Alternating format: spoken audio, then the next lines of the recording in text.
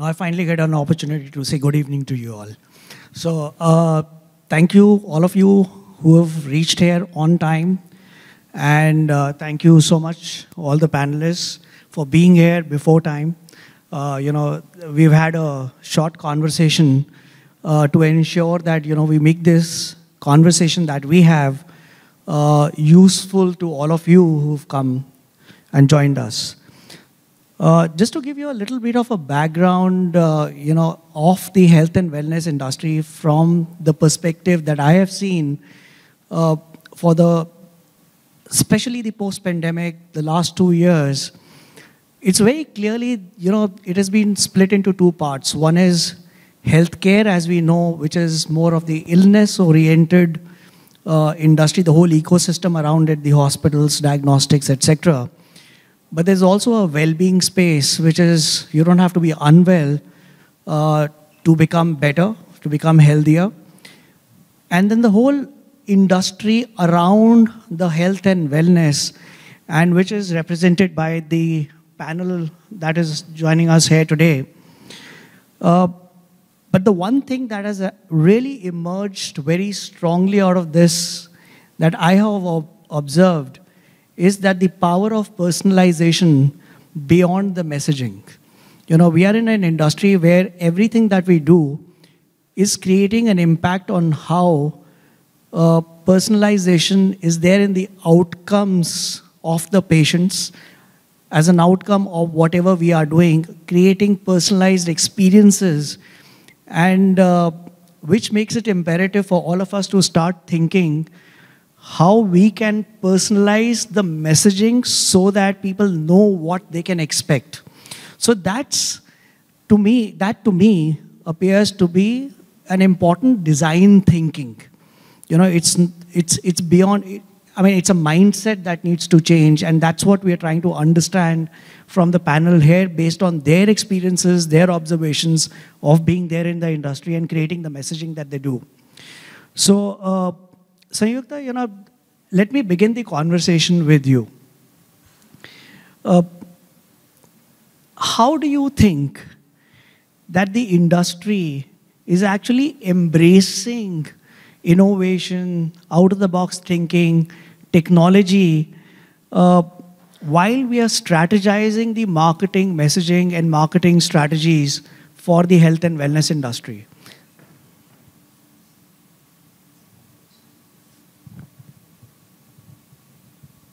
Hi, everyone. Um, so I think, yeah, there's a lot, like you're saying, uh, the industry itself has evolved. So I've had the good fortune of, uh, I worked in FMCG and then I worked at Abbott uh, for a bit, and then I moved back to FMCG, and now I'm with Kaya, which is kind of a, a mix of everything.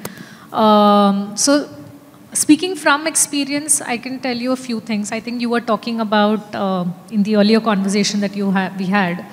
Uh, you spoke about the fact that um, there's so much that um, is not communicated, whether it's from the doctor's end or whether it's from the patient's end, and I think that's where um, design thinking can play a huge role. So for example, even something as small as um, how a patient would communicate um, what they are feeling. My stomach hurts every time I have a huge presentation or I'm unable to sleep um, every time I'm stressed out. Um, versus a pharmaceutical sales rep would go and tell the doctor brain gut syndrome. The doctor would then translate it into saying IBS there's so much lost in translation between each of these, uh, you know, each of these conversations. There is so much that is not told, and then so much that can be misconstrued because of that. Um, I think that's where marketing can play a very, huge role in terms of translating just the colloquial speak of the patient to the pharma company to then the HCP or the healthcare professional, and how do you kind of tie that entire bit up. I think that just the language, the human language itself can be oversimplified. That's one. Two, of course, if I have to pick, um, again at Abbott, another example was um, when we had actually tied up with GOQii for the gut health division, and we realized that that was where we were talking about service plus pill and going beyond just, you know, recommending a pill for the patient. Um, and how do you kind of help them uh, actually improve the quality of their life or lifestyle, so to say. So I think that's another good example of where you had Luke Coutinho as the brand ambassador, and there was so much to do with dietitians, uh, you know, physiotherapists, psychologists, which was again like a completely untapped space into pharma. I still think there's a lot to be done there because everything kind of begins in the mind. And today, most of the illnesses, like you said, it's not necessary that you're ill um, but it's largely because of our mental makeup that you we end up the weakest part of our body kind of gets impacted. I think that's again where there's so much of digital innovation that plays a role. If I have to pick up examples of what we've done at Kaya, uh, here we have actually leveraged the power of AI into our website to kind of ensure that there's a lot of uh, skin analysis, diagnosis that happens right there.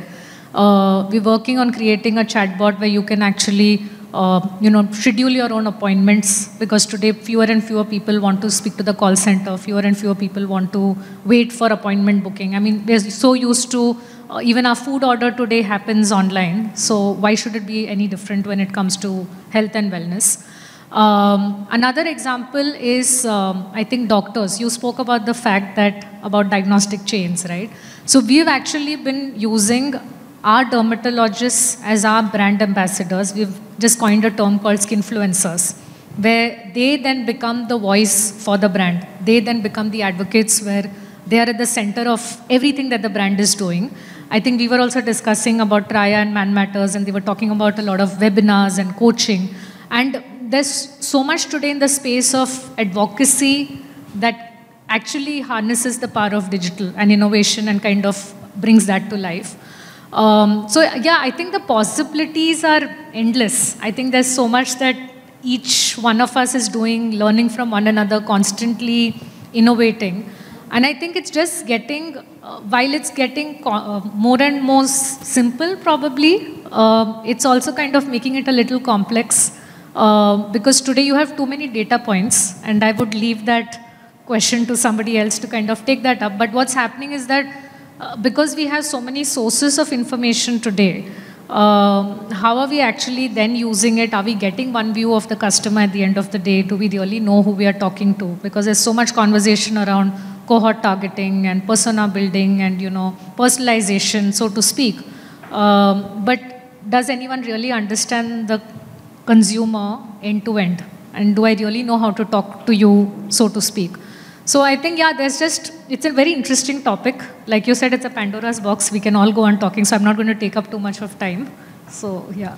Absolutely. I think this is brilliant what you brought out because uh, what happens is that uh, I was listening to a speaker in the morning in the uh, digital conference, and they said that technology can be really complex at the back end, but in the front end, it needs to be simple. So, for the user, it needs to be very, very simple. And while uh, you know you can use technology, AI, etc., to bring it out in front of the patient as to what they personally need, but for building the trust, you have skinfluencers, you know, because you can't promote your own product because they'll just run away. Uh, Geet, let me come to you. I mean, since we were talking of personalization, you know, uh, what is your opinion? Uh, is the role or the impact that personalization can make in the health and wellness industry. And the reason I'm asking you this is because uh, you have products which are oriented towards men, and then you have another app which is working or a platform which is working towards kids. How do you create personalization uh, while marketing or creating marketing strategies? Sure, thank you. Um, if my colleagues would have seen that this is the question asked to me, they would have said it's a match made in heaven because this is exactly what I keep discussing all day and I'm pretty much obsessed with it. So there are two nuances that I would love to talk about which we've sort of figured out over the last couple of months in our journey of trying to personalize things for the user. And the nuances are in, in how things change about the role of marketing when it comes to healthcare itself. Because unlike normal marketing, when it comes to healthcare, I feel the biggest difference is that here, the role of marketing is not that somebody is buying a product and your job is done. It's actually driving health outcomes. And health outcomes, more often than not, is not typically driven by just a person buying a product. right? You have to be with that person. Uh, you need to give personalization as an experience and not just as a marketing tactic. So that's first nuance, and I'll go a little bit deeper on that. And the second is that the role of marketing for the longest of time, I think, has been to stand out in the minds of the consumer to answer the question as to why should I go with you? The why was the important aspect. But as consumers are evolving, uh, I think the role of marketeers and the role of marketing, especially in healthcare, is not just about why, it's about why should I choose you? What should I choose? How should I use it? Will I see result? When will I see results? There are a lot of questions in the mind of consumers and typically marketing is inadequate to answer all of these questions. Therefore, closing the loop on my first point, if you really have to be with a consumer, then all of this needs to translate into personalized experience for the user, which traditionally cannot just happen by communication being personalized. I think a lot of people also, for the longest of time, I think marketeers have been discussing about, oh, if it's personalized, you will see better CTRs, you will see maybe better open rates and things like that. But I think when it comes to healthcare, because the goal is a lot more complex and a higher level goal of driving outcomes, which is typically spread over a couple of months and not just in the instant of purchase, I feel that you need to have a very strong buy-in from the consumer himself because healthcare is an investment, especially when it's not just about ill-being, it's about augmenting yourself to being better. There has to be a buy-in from the user as well.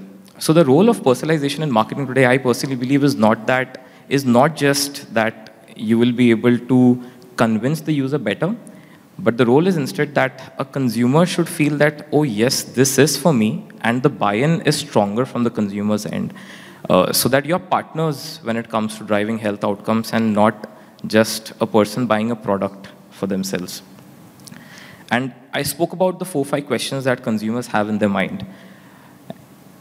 I think marketing becomes complex, uh, and how we think, at least, about trying to personalize experiences for the user is as you ask each question and the user gives different answers, you see there are different personas and different paths of personalization for the user.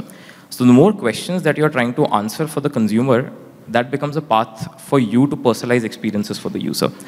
Uh, I do believe most of us today, at least while we are trying to pursue personalization, what we're actually doing is mass customization and not personalization.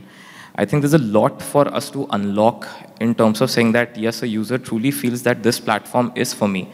Uh, when he opens the app, what he sees is different completely from, let's say, when you would open the app. Uh, so that's something that we are trying to do. Driving health outcomes really, really requires a huge buy-in from the consumer. Uh, people are are at different points of journeys in their healthcare uh, journey. So we have to customize it and personalize it for them. So uh, therefore, I really believe that personalization is the only way to go about to solving health outcomes for the users today. So, you know, Geet, you brought out, apart from talking about personalization, you brought out a very important aspect because when you look at the people who founded companies which are related to healthcare, a lot of them that I've observed have a purpose behind it. There's a reason they got into healthcare businesses, you know. And many a times as a founder, you're not able to bring out that why that you spoke of in front of the audience, in front of the target. And I think that is a role that uh, the marketing teams have on their shoulder that they need to uh, brilliantly uh, do it in an effective manner so that the why is known to the consumer. The second thing, you use the word persona. That brings me to the next question. Pritish, uh, this is for you. Uh, when we are talking of creating a persona, in fact, in fact, all the marketeers have used this word, uh, you know, all the time. But today, when we were talking of personalization, we are trying to understand, and today we have a technology of AI, blockchain, etc., to help us understand and go beyond what you said, uh, mass, what did you say? Mass customization towards personalization, real personalization. So how do you think, Pritish, can we use data and analytics to create that journey towards personalization in trying to understand your customer in the first place? Yeah. So, uh, love to be a part of this amazing panel and uh, representing the whole digital uh, well-being industry, healthcare industry is just beyond my dreams. Now, if we break down healthcare and digital healthcare servicing into components, it will be diagnosis, and then you provide a solution, and then the customer fortunately sees results, right? And that's when uh, data analytics, we as all of us are leveraging user data to first diagnose what the user is going through, right?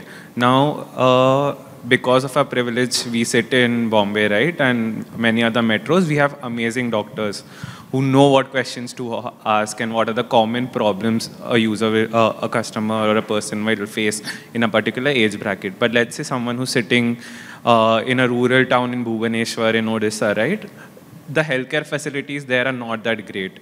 So this is when when uh, companies like us and a lot of other people who generate questionnaires or hair tests and apps to understand what parameters and user attributes we can take from the customer and provide a very customized and personalized solution for them so that the result which they intend to see, let's say uh, in six months down the line, is properly curated and given to them, right? Now, let's say and we have heard these stories from a lot of our parents as well, right? That the diagnosis only was very wrong.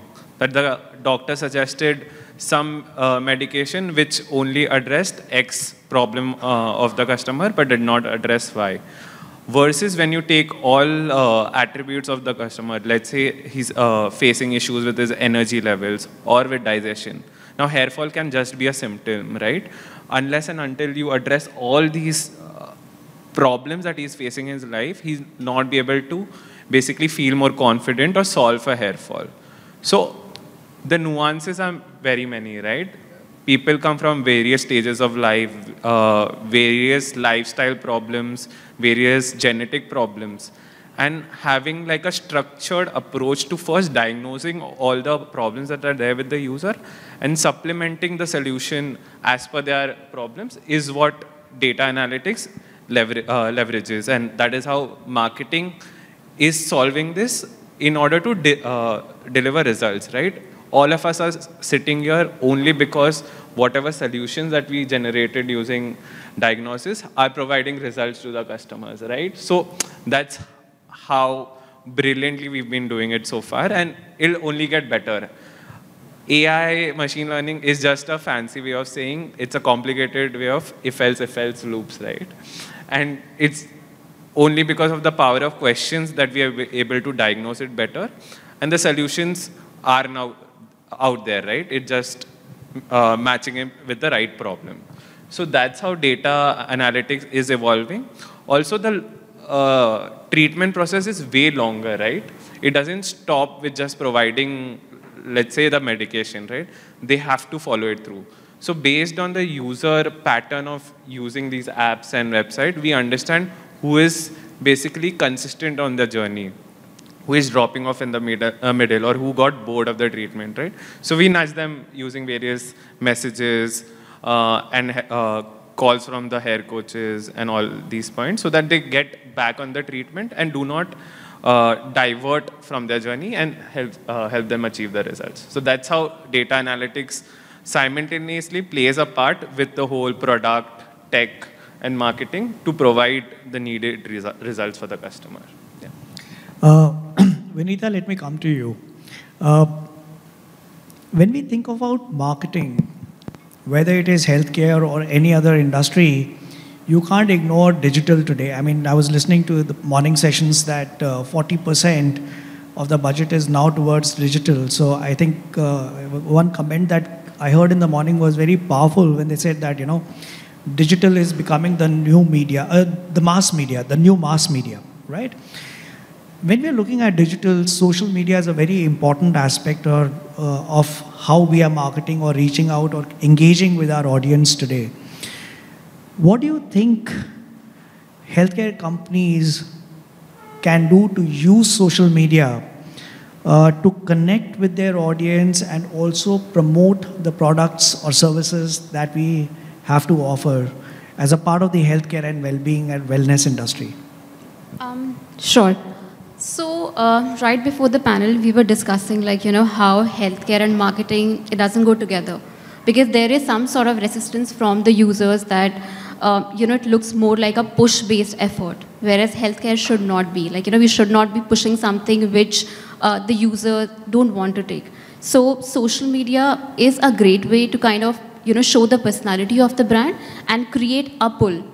Uh, I think a lot of other panelists touched upon that you have to understand what the core issue is, right? For example, hair fall. Hair fall could happen because of multitude of issues. It could be because, you know, you have vitamin D deficiency or some chronic illness. But you can't just tell them that, you know, use our product and then you can get rid of hair fall. So it is the onus of healthcare companies to educate the users through social media or other channels uh, that, you know, they can make the right decisions.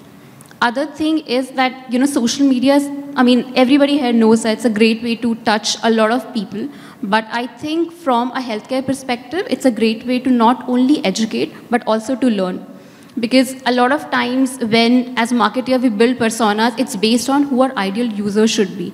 But unless and until you don't talk to people, you don't engage with them, you don't know why or why not they're buying. So I think there, social media can really bridge that gap, you know, to, to just kind of solidify your understanding of um, why the customer is buying from you or who you should target. So um, I just want to close it by saying that, especially for healthcare, basically for any brand, but especially for healthcare, it's really important to take the onus of educating your users well, really safeguarding their interests and you know understanding that whatever you are doing should add some value in their life, be it in the short term or long term. You know, it's very beautifully you articulated the role that social media is playing, but I think, uh, you know, when we are a healthcare company or someone who's dealing with wellness or well-being, there's a lot of responsibility that we have uh, when we are interacting with our audience.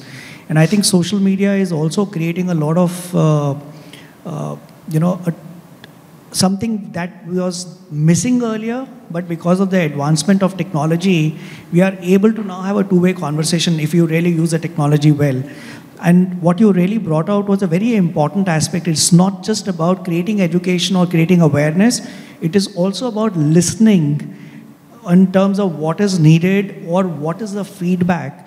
And I think the second aspect of social media that I personally feel that can be really impactful is creating an influence. You know, because something that you can't do yourself, the other influencers can do for you. And the, that has created a faster acceptance of receiving the knowledge and uh, information about the company and the products that we do. So uh, thank you so much for sharing that. Shubhadeep, I, I, Subhadeep, yeah? Shubhadeep is correct. Okay. Uh, whatever we do, whatever we are trying to do can't be without challenges. I have not come across anything which has been like straight success.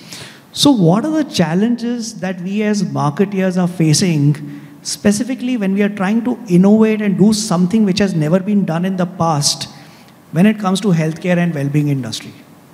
And, and what, if there are challenges, there has to be a solution. So, if you can identify the challenges and share with you, uh, share with us what could be the possible solutions to those challenges? Sure, sure. Thank you. So, um, I look after the child nutrition category at HealthKart, and I'm very intrigued by my position here today because I have to talk about the challenge while most of the other people have talked about uh, the solutions, right? But okay, let me start with the challenge. So there are two aspects to this. One is marketing and one is healthcare. And the third aspect is innovative marketing. What we understand by that is usage of technology, AR, VR, augmented reality, or whatever the technical terms of those are. But basically what it does is gives larger than life immersive experience to the consumer, right? So we've seen the recent Britannia ads, uh, AI ads, and we've all been very fascinated. But those are done to trigger an experience uh, kind of uh, trigger a very positive reaction and affinity quickly, right? Now coming to healthcare, healthcare is a tricky area. So here this, this marketing is driven by providing information. Now information is boring. Now using technology, suddenly you try to make information very, very uh, appealing is tough. So I'll take an example from Traya. You use AI and make baldness very, very lively. I don't know whether you will get consumers or lose them, okay? So uh, how to present information uh, is a big challenge uh, when it comes to technology for um, healthcare companies. And the second thing I think is plethora of information, the massive amount of information that we had to give because we have products and then 20, 30, 50 ingredients. Each ingredient has a role to play in solving some specific aspect of the health problem, right? So how much information can you really pack with the current attention span of consumers, which is less than three seconds probably, right? Why should anybody see your ad at all, no matter how much digital you are using or whatever you are using, right? Uh, and the third aspect is information at two points. One is moment of truth when I'm searching for it. That's when chats, etc. maybe are helpful. But when I'm not searching for it and you're pushing it on my Facebook feed or my Insta feed, uh, am I really wanting to know that information? So that's the challenge, okay? And now coming to solutions, I'll just take two examples out of what we have done at Gritzo. And Gritzo is I used to call it a personalized child nutrition brand, but after today I'll call it mass customized probably. but we have a huge number of um, SKUs. I mean, Gritzo is a child nutrition brand for children from the age of 4 to 13 plus, and we have huge number of SKUs catering to, um, you know, minute cohorts of uh, needs, age, gender, health goals, etc., etc., and we kind of customize and um, uh, uh, cater to consumers with specific needs. Now you can understand. Now we have with 30 SKUs, you cannot really uh, give all that information in one ad, right? So uh, for the first challenge was how to identify the right persona. So we went through a lot of learning, uh, and we figured out a method through which now we've been able to figure, we've drawn a matrix of the key benefit, the key cohort, and the key outcome. Okay, so these three are triangulated and we do not launch with one content. We'll launch anything that we do right now in any of our campaigns. We'll launch with multiple of campaigns and in, these three um, axes, okay? And the second part, I think, where uh, about providing information in an interesting way, we experimented with gamification and that really worked for us. So we kind of created a game where the mothers will go into their regular routines with their children. They'll pick up things that they are cooking or giving to the child, and the game would tell them what kind of calories, what kind of nutrition benefits are going per day. Along with that, it will showcase how Gritzo can help and you know help in the child's growth. So it's like one content which gets customized through an AI-enabled engine at the backend as per your need. But it's one content when I push it through Facebook. So I think that was one of our very, very good campaign. So, and real life example. So yeah, that's about it. Thank you. Awesome. Awesome. Thank you for sharing that because, you know, while the... Uh, just wanted to add to the challenges, right? And uh, obviously, a lot of our companies have a specific R&D teams who do the research. But even now, if you go to any uh, Google or like social media app and you search a symptom, it will eventually lead to cancer, you having cancer, right? Because there is so much information and noise, like you rightly said. But the, you have to trust the experts because there's so much work that has been put in. So that's one main challenge which I would like to add to. Also, it's the expectation of the results, right? I think people are so used to getting deli deliveries in 10 minutes right now that they also expect healthcare to solve problems in like a week or so, which realistically is not possible in our, any good treatment would take a longer duration to provide those visible and sustainable results. So yeah, these two are. I think brilliantly put, uh, you know, and but what really also came out was that the challenges could be there, but the solutions need not be very technically advanced. It could be simple things that you could do to overcome these challenges. Uh, my last question to you, and uh, one of the very important ones, because you know when we are looking at marketing, innovation, doing things out of the box, we also are working in an industry which is highly regulated. You know, whether it is healthcare services, whether it is wellness services or wellness products per se. How do you create a balance between innovating your marketing strategies and ensuring that the compliance, you are complying to the uh, regulation that is there? Thanks, Harbinder. Uh, good evening, everyone, and uh, thanks for having me. I think all that we spoke, you know, will come to nothing if we are not compliant. Yes. So I think, especially, you know, when we are dealing with health, and I think what we need to understand over here is why this is so.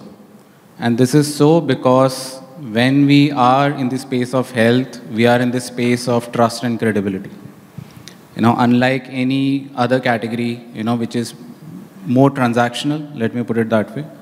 When it comes to health, I think somebody spoke about, you know, health outcomes, it takes a lot of time. So you are in for some time and you are here because there is something which is bothering you and something which not just might be bothering you, but it might be affecting your family as well. So trust and credi credibility is extremely important and I might actually even counter argue on this if you are able to build that in a compliant way, that could actually be a differentiator. Uh, because the sales that you are trying to drive in can help you in the short term, but if you have to build a long-term business, a viable business, trust becomes extremely important. So there are a couple of things that I think as marketeers and personally I have applied over the years that I have worked in different companies. First is don't see compliance and regulations as a barrier. You know, see that how you understand. A lot of marketers shy away from even understanding. You know, that's someone else's job. I will go with my campaign, I'll go with my content. Now, whoever that function is in your organization, whether it's legal or whether it's regulatory, you, you see them as on the other side of the fence. You know, and then you say, you know, this is not happening. So but how many of us actually understand the laws of the land, understand the regulatory framework? I think so that is where it has to start from. Second, my, again, my personal thing that which I applied, which I found it beneficial, is when you're thinking about your campaign brief, involve them. Make them as your stakeholders. You know, make them understand the context. Make them understand your objective as to why you're trying to drive it. I have found in many instances wherein they come with solutions which are even better than what you have thought because they, they will, they know how to navigate, you know, around.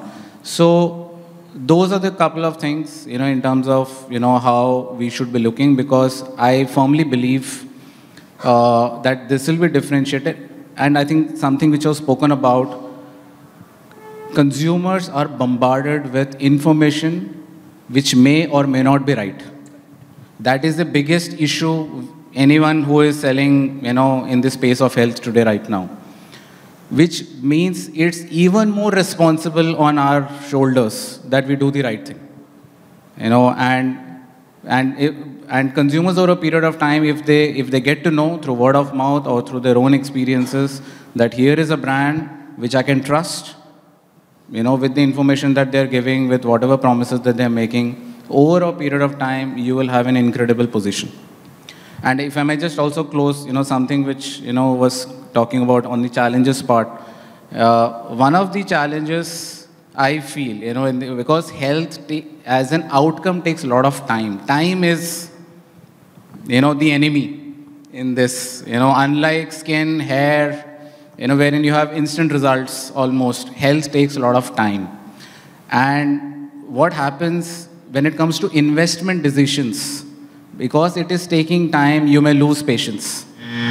And if you're not consistent, then you may think your campaign is not working, but it's just that it's just taking time. So what are the right metrics you have is extremely important versus just looking at sales.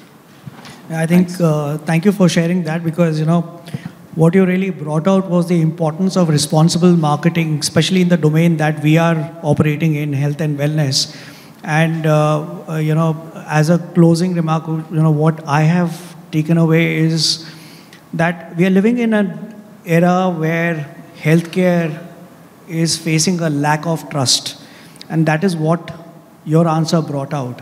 That as responsible marketeers, it is our duty to rebuild that trust and look at compliance and regulation with a very different perspective with that, I'd like to close this uh, conversation. Thank you so much for taking our time to be here and sharing your knowledge with all of us. Thank you.